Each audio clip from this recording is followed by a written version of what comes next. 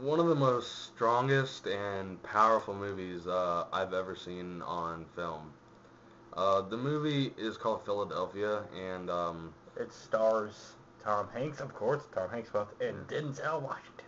yeah, um, it's it's it's a really really fucked up kind of movie. It, but it's so powerful. Yeah, it's like it was um It's really really hate driven. Like it's basically kind of reminds me of a hate crime type of. I mean because you know it, this is all about um you know in the 80s when AIDS started, AIDS just started. you know and uh you know everyone thought whoever had AIDS was homosexual.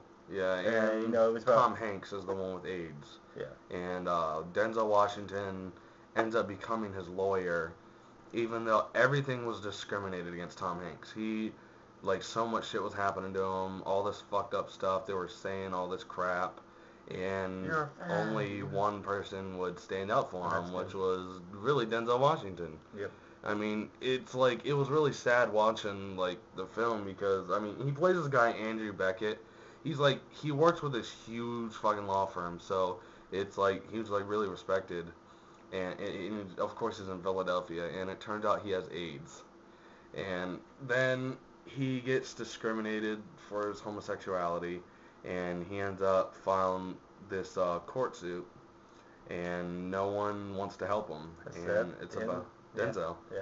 It's Yeah. about one man's triumph, basically. And, and funny thing is Antonio Banderas is Tom Hanks' partner. Yeah, his You never lover. think you would see like have that like Tom Hanks Yeah. and then you have like Antonio Banderas, but Mhm. who knows?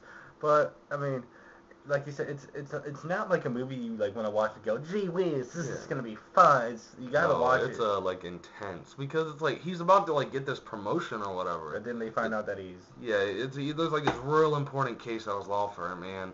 that it's fucked up because he's just about to get it, and they notice this lesion on his head, and it turns out they find out that he has AIDS, and they think that he's gay, which he is, but he's not open to it, so they just fire him, and uh, it's really fucked up.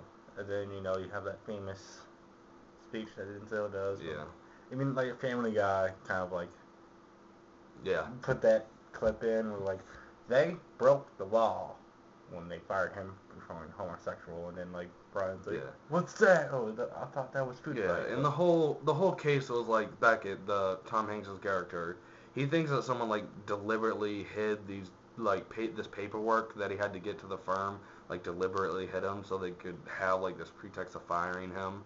So that's why he goes to court. And finally, he of course he finds Denzel Washington, yeah, stands up for him, and John Jonathan Demme, he directed it, and he did he did a really really good job. And of course, uh, Ron Nyswaner, he he wrote it, and I haven't heard, I haven't really, most films don't have great stories.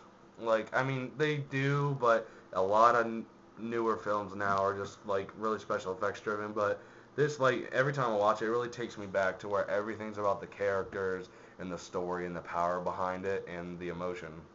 And e- it's just everything about this film is just truly inspiring and truly incredible. And it goes to show that like there are good people out there that actually help you, that Yeah. help people like that. And it's great. It's a great. It's a great film that uh, I think everyone needs to watch. And of course, I give it a five out of five. I mean, it's just a all-inspiring film. I'm gonna give it.